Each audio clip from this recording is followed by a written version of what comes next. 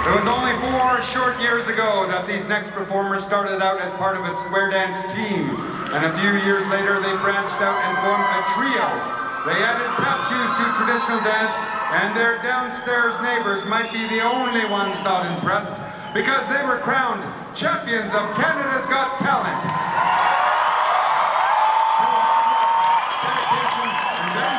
Legs, they danced their way straight into our country's heart with Michael Audette on fiddle. Get ready for this enthusiastic, dynamic, and jig-tastic trifecta of talent and show some love